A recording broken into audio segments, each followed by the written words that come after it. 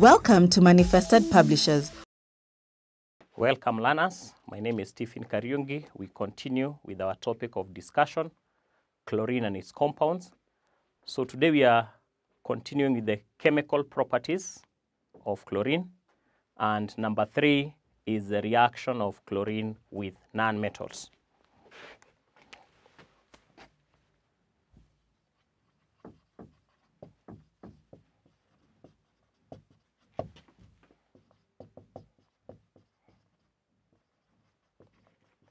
So basically, we find that uh, chlorine reacts with the nonmetals to form nonmetallic uh, chlorides. To form nonmetallic chlorides. Uh, for example, we can say that uh, chlorine reacts with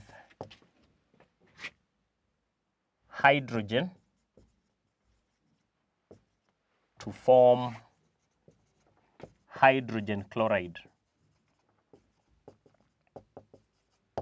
However, this reaction does not take place at room temperature.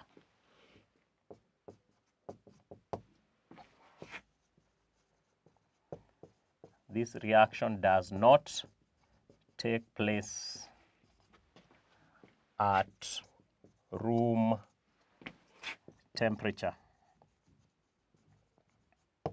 So instead, uh, a small amount of uh, hydrogen, that is pure hydrogen, is burnt and then it is passed into chlorine gas so that the reaction can take place.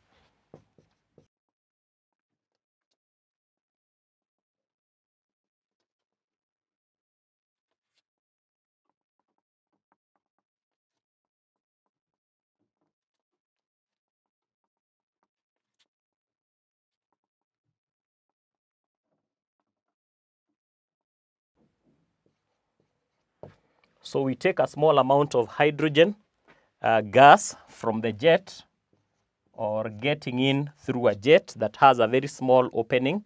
Then it's first of all burnt and then as it is burning, uh, it is passed into chlorine gas so that the reaction can take place. So in this case, we are saying that uh, the chlorine gas plus hydrogen uh, react to form hydrogen chloride gas, which is a colorless gas. So we have chlorine and hydrogen reacting to form a hydrogen chloride gas. Also, it's good to note that uh, hydrogen gas should be pure, should be pure uh, because if it mixes with air,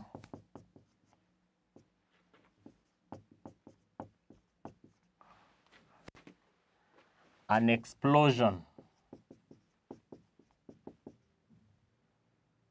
an explosion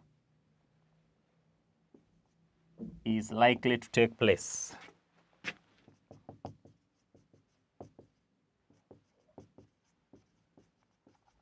So in this reaction, we are saying that uh, hydrogen gas needs to be pure, and then it should be delivered through a jet to ensure that small quantities of hydrogen react with excess chlorine. So the chlorine should be in excess and should be reacted with a small amount of hydrogen gas that is pure, and that is to minimize the chances of an explosion. When that reaction takes place, we form hydrogen chloride gas, which is a, which is a colorless gas. So basically, that's one of the nonmetals uh, that reacts with uh, chlorine. Chlorine also reacts with phosphorus, with both white and red phosphorus to form phosphorus chlorides. to form phosphorus 3 chloride. That is if chlorine is in a limited supply and phosphorus 5 chloride if chlorine is in excess. So we have uh, phosphorus plus chlorine. Phosphorus exists as a molecule made of four atoms, a P4 molecule. So plus chlorine gas, and this one will form phosphorus 3 chloride. That is if chlorine is limited in supply.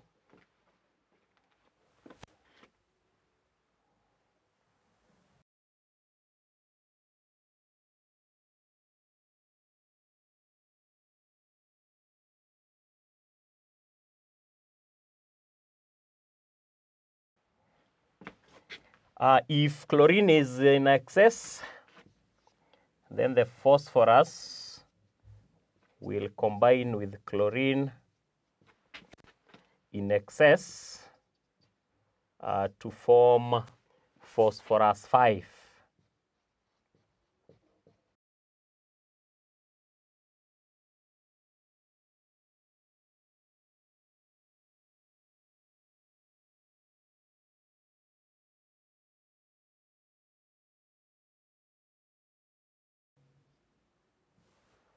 So those are the two chlorides that are formed by phosphorus. So phosphorus forms phosphorus 3 chloride when it is in a there is a limited supply of chlorine and it forms uh, phosphorus 5 chloride when there is excess chlorine. So basically we are saying that phosphorus is another non-metal just like hydrogen that reacts with chlorine. So we are going to have an assignment on that.